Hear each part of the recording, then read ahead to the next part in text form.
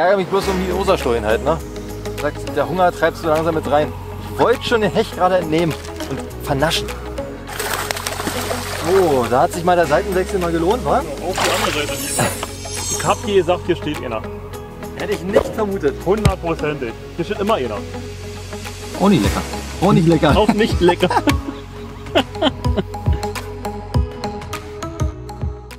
so? So? So kannst du stehen bleiben, das sieht so. richtig gut aus. Leute, ihr seht schon, wir haben wieder richtig Spaß hier, schon am Anfang.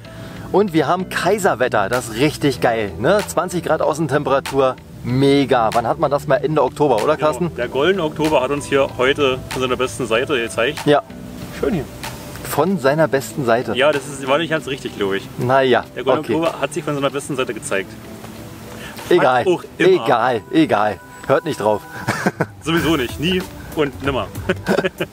Im Endeffekt haben wir heute gar keine richtige Mission hier am Start, sondern wir wollen einfach nur schön Hecht angeln gehen. Wir haben viele Köder dabei. Ja, mal gucken, was es am Ende wird und wie viele Hechte es werden. Aber ich denke mal, ich bin, also ich bin sehr zuversichtlich. Ganz ehrlich, heute. Also vorhin hatte ich gefragt, waren es zwei. Zwei Hechte. Also ich bin zuversichtlich. Immerhin. Zwei Hechte, ja. Könnte doch schlechter laufen. So Leute, wir quatschen jetzt nicht viel. Wir legen jetzt los. Ich denke mal, wir machen jetzt gleich die ersten Würfe und dann geht's los. Auf geht's. Hechte rausknallen. Genau. So, bereit für den ersten Wurf. Gummifisch, eine ordentliche Route, ordentlicher Teich, schön an der Schilfkante wie immer. Ja, so fangen wir ja meistens an, fahren auf dem Gewässer rauf. Erstmal so Uferbereich, Schilfkante. Der Klassiker halt. Habt ihr schon ein paar Videos gesehen. Hat immer wieder funktioniert. Und so wird es auch heute funktionieren. Hoffe ich. Ja, da bin ich ja gespannt, Carsten. Ja, natürlich. Wir wollen nicht ohne Fisch heute nach Hause gehen.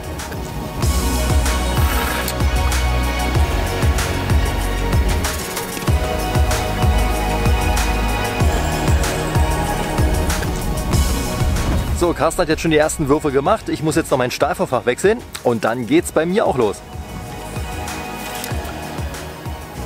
Da Mann. Da haben wir ihn endlich, den Kollegen. Also noch haben wir gar nicht. Würfe hast du gar nicht gemacht? Das stimmt allerdings, aber ich muss dir sagen, ah, gar nicht so schlecht. wo ist er?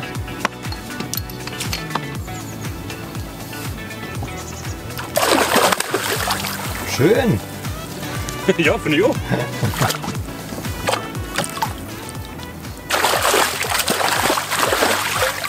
Ich glaube, der wollte nicht in den Kescher.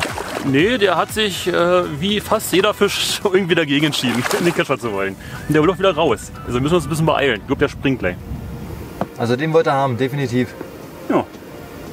Ich hoffe, mein Finger nicht gleich. Äh, muss ich rausmachen. Hilft. Verbandzeug haben wir mit, so ist es nicht. Genau, das stimmt allerdings. So.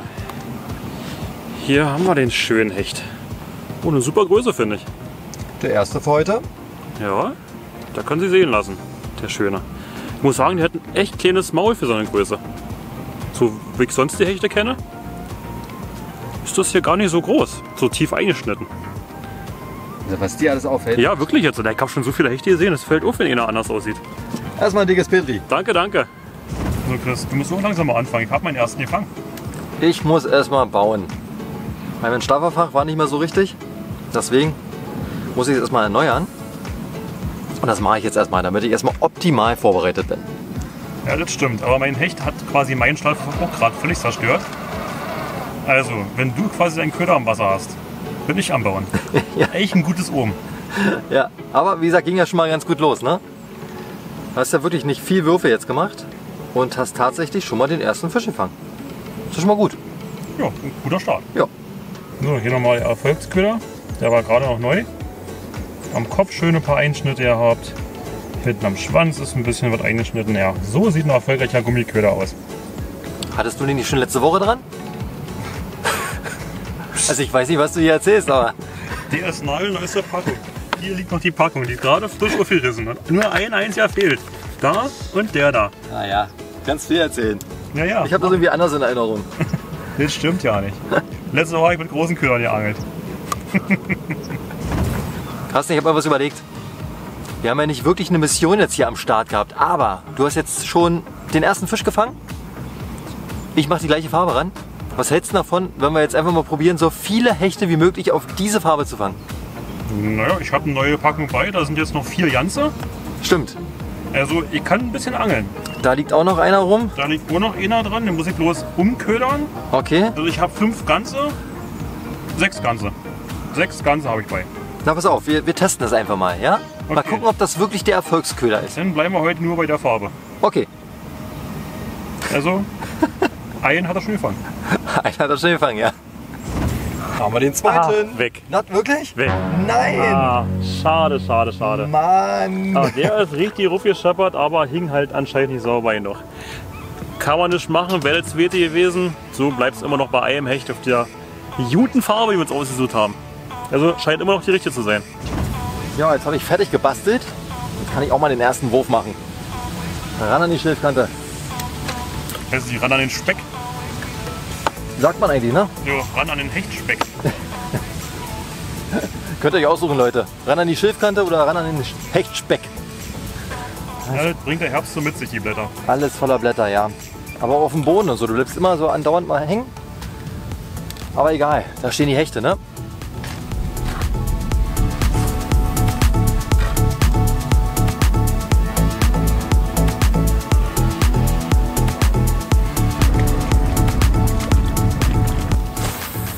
Carsten, was tippst du eigentlich heute? Wie fangen wir denn auf der Farbe?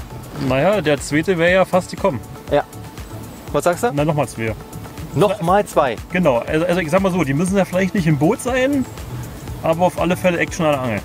Also ich bleibe bei meiner Anfangsprognose. Ich habe gesagt, zwei, ja. zwei Fische habe ich gesagt. Ja. Ich, ich stapel jetzt mal tief. Aber es war ja ganz schön Action jetzt gerade eben gewesen, in den letzten Minuten. Da ist halt was dran, aber irgendwas Mülliges. Ja, wahrscheinlich wieder Laub. Ähm, ich sage drei.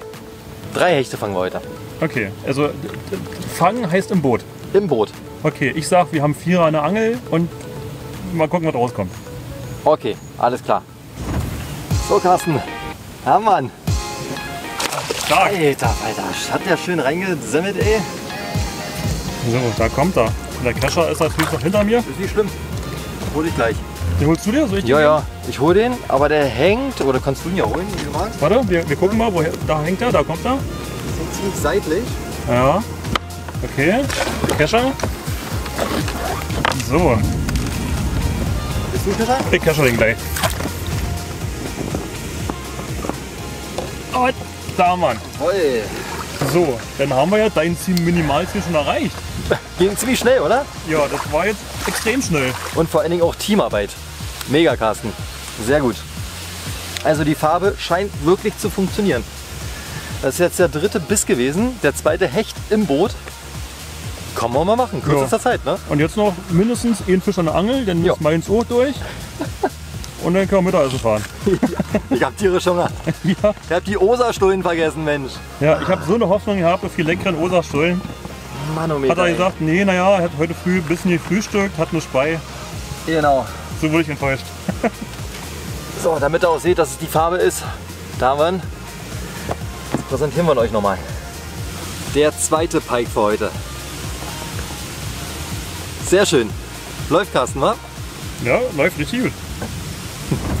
Ja, wie gesagt, ja, so aktive Hechte, dass in so kurzer Zeit ja drei, drei Stück unsere Köder mal kurz genascht haben. Schon lange nicht mehr gehabt. Und das in der Mittagshitze. ist das Wetter? Na, das ist Mittagszeit. Die haben auch Hunger. 20 Grad Ende Oktober. Ich sag's dir, die haben Ja, das Bock. stimmt. Das Wasser, weiß ich, ich keine Echolot bei, ich weiß gar nicht, was schätzt du denn? Also ich sage noch so 12 Grad, schätze ich. Ich sage 23. 23 Grad Wassertemperatur. Du bist quasi noch im Urlaub. So Freunde, wir wechseln jetzt die Seite. Wir haben jetzt hier alles abgeangelt, haben jetzt zwei Fische gefangen, drei insgesamt gehakt und jetzt ja, düsen wir einfach mal rüber und schauen mal, was da die Hechte so sagen. Spinnenweben, ey. Spinnenweben? Ja. Boah, Schlimm, oder? Die hängen im Gesicht und dann, egal wo man wischt, die bleiben trotzdem dran. Also bei mir nicht. Ja, ich hab's abgekriegt, ich hab's abgefangen. So ob du vor mir sitzt, im Wind.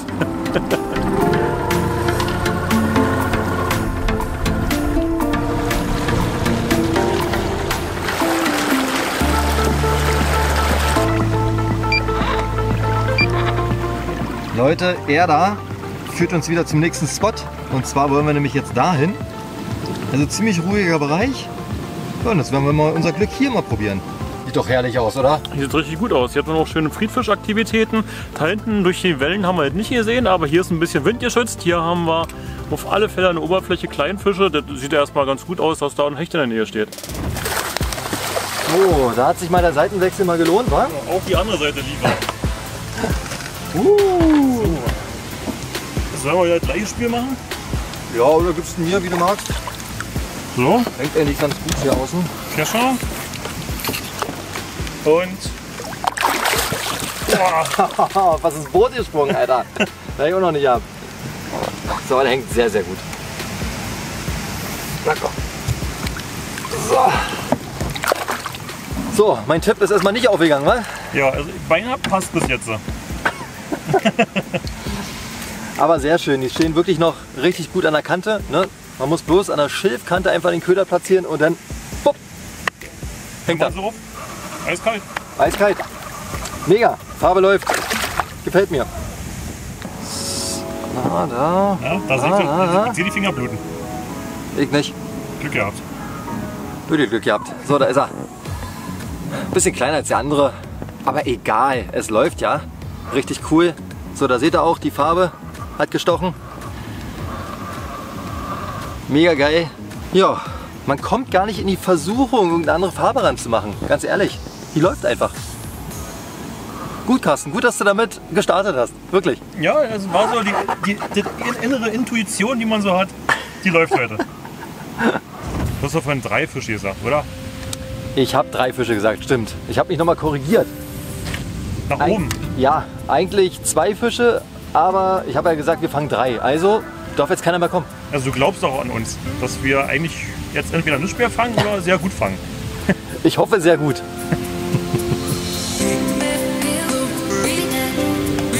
Oh, alter Vater. Was? Ich wollte den gerade rausheben, den Gummifisch scheppert hier ein 80er Hecht volle Möhre ruf. Nein. Alter Schwede, der kam gerade angedroschen wie Sau. Ich wollte gerade den Schwan da hinten filmen. Ja, tut mir leid. Ich, das, das war gerade nicht möglich, weil ich dich gestört habe. Oder der Hecht uns.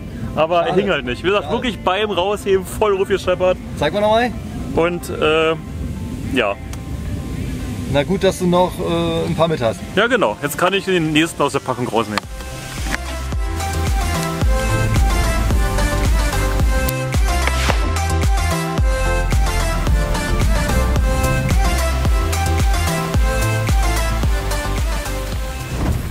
Ich hab dir gesagt, hier steht einer. Hätte ich nicht vermutet. Hundertprozentig. Hier steht immer einer. So. Da kommt er. Da ist er. Sehr gut. Und da ist er schon wieder weg. Naja. Auch ein kleiner. Okay, war definitiv der kleinste heute. Nicht so schlimm. War jetzt mittlerweile Aktion 6 hier bei uns auf dem Boot. Also wir haben quasi vorhin alle zu tief gestapelt. Wir sind doch besser als wir dachten. so, gut. Das war der eine echte Stand. Jetzt können wir hier quasi die Sache verlassen und wieder weiterfahren. Leute, Ende Oktober, der Planet brennt. Es geht nicht. Ich muss den Pullover ausziehen. Also ich kann mich nicht daran erinnern, Carsten, dass es mal so warm war Ende Oktober. Wirklich nicht.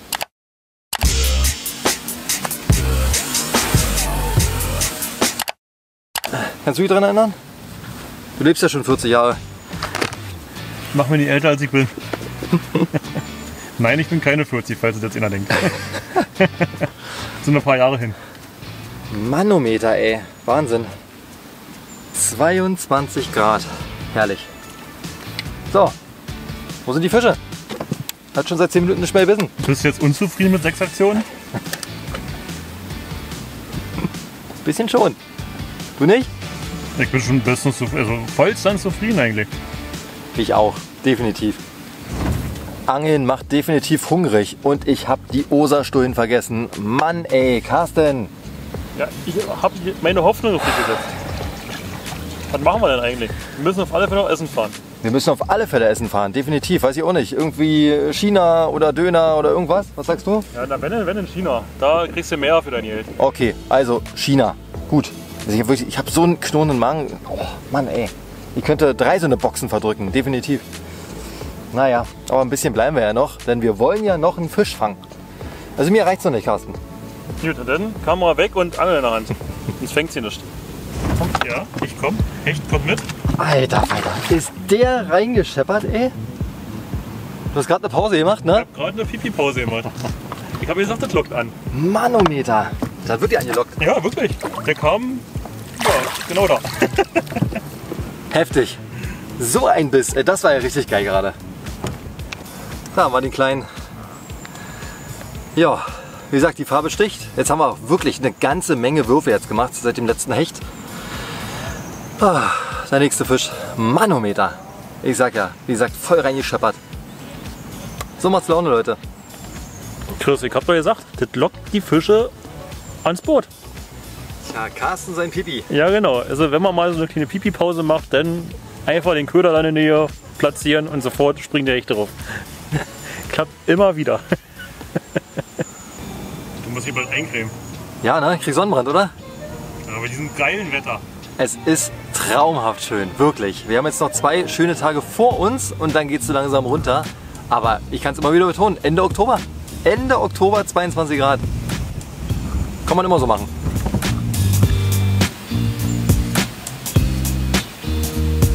Carsten, schau mal vor dir. Ah, ich habe den Kollegen schon gesehen. Vor ein paar Jahren hätte ich gesagt, wo sind die anderen Szenen, die wir sonst immer sehen. Aber jetzt ist schon selten geworden. Vor zwei Jahren war ja so richtig krass Winter, ganz lange, viel Eis. Danach hat es richtig abgenommen. Meinst du, daran liegt? Kriegt man zumindest, wäre eine sinnvolle Erklärung. Weil es war halt genau danach, war der Bestand halt einfach, ich sag mal zusammengebrochen jetzt nicht, aber einfach viel, viel weniger. Wie gesagt, jetzt haben wir hier sechs bis zehn Stück gesehen. Jedes Mal, wo wir draußen waren. Und jetzt haben wir ein. Ja, wer also immer regelmäßig die OSA-Videos verfolgt hat, der hat immer wieder Nutias bei uns in den Videos gesehen, ne? aber in der letzten Zeit, wie Carsten schon sagte, nichts mehr. Deswegen ist das schon eine Rarität, was wir euch gerade eben gezeigt haben. Feuer frei für den nächsten. Voll. So muss es sein. Mann ey. Bin trotzdem motiviert. Na, da kommt der Schild. Das ist schon mal so ein schönes Schild gesehen. Ja, wunderschön, frisches Grün, nur Oktober. Herrlich. So, zweiter Versuch. Na, da sieht doch besser aus. Perfekt. Warte mal ab. Warte mal ab. Wartest du ab? Ja, warte. Drei, zwei, eins. Hat nie gesessen. Hm, ist klar. also ich habe heute sogar mal Pause gemacht, um was zu trinken. Bei Chris sieht das anders aus. Seine Flasche, Naja, ein bisschen ist schon raus. ja, also Komm. für, für deine Verhältnisse auf alle Fälle eine halbe Flasche schon viel. Ich ärgere mich bloß um die Osterstollen halt, ne? Sagst, der Hunger treibt so langsam mit rein. Ich wollte schon den Hecht gerade entnehmen und vernaschen. Einfach, einfach wie so ein Maiskolben abknabbern. Einfach abknabbern, genau. Nein, ich denke, wir machen ja eh gleich Schluss. Dann werden wir uns mal eine schöne. Ah, wieder. Mann, da gibt's denn sowas? Ich würde sagen, eine schöne China-Pfanne gönnen. Mann, ey! Da kommt das nächste angeflogen.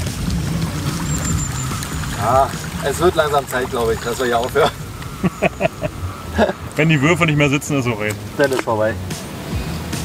Ach, ey, da geht noch.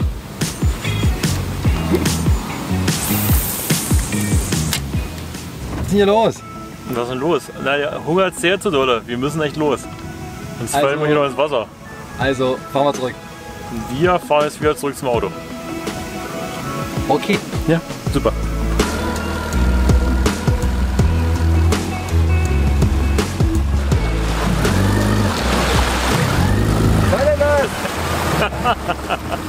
Das? Gerade hier oben. Kann so nicht mehr hin. Okay, da hast du recht.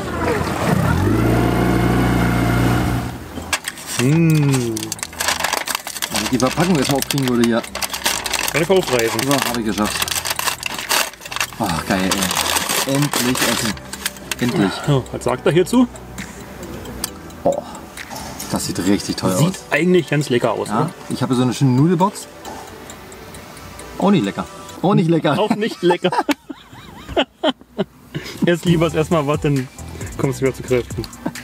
Sie merkt schon, Leute, wir waren wirklich eine ganze Zeit lang auf Wasser gewesen. So, jetzt lassen wir uns erstmal schmecken. War wirklich ein toller Angeltag. Wir haben vier Fische gefangen, sieben Aktionen gehabt. Kann man mal machen, bei bestem Angelwetter. Ja, und jetzt brauchen wir erstmal eine Stärkung, es hilft nichts. Nur ein bisschen Energie. Genau. Leute, ich hoffe, ihr hattet wieder Spaß mit der Folge. Wir sehen uns beim nächsten Mal, wenn es wieder heißt Angel mit Motorspray Angler. Bis langsam, wir Petricha und Macht's gut. macht's gut.